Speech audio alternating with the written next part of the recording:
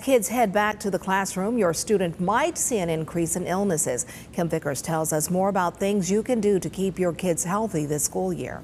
Classrooms can be a petri dish of germs, and many students tend to get sick those first few weeks back. So at the beginning of the school year, we do have a lot of absences, normally related to kids being back in the school around other students. We'll start seeing fevers, you know, um, summer colds, anything like that. Dr. Brandon Bentley at Wellstar MCG says there are a few reasons why that happens. Most of them have also been traveling or outside of their local community in some way, shape, or form.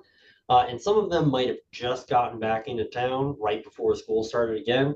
Because uh, sometimes the kids don't even know they're sick yet, and they come back to school and they just haven't started showing symptoms. Some doctors say they are seeing an uptick in COVID cases as well as the flu and other viruses. There's a lot of viruses out there, but you can get any of them at any time, and they'll they'll rear their ugly heads, especially when school starts back up.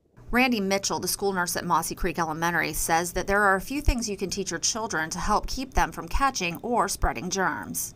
One of the biggest things is good hand hygiene, which is something that we teach at school as well. So we just ask that parents encourage that at home too. Um, especially with like the younger kids, they're going to touch everything. They're playing with toys. They're on the playground. They're giving hugs, and germs spread very quickly. And of course, healthy habits can help keep sickness at bay. We just try to encourage parents, you know, to make sure that kids are getting enough sleep, you know, have a, a well balanced diet, get enough water, bringing water bottles to school.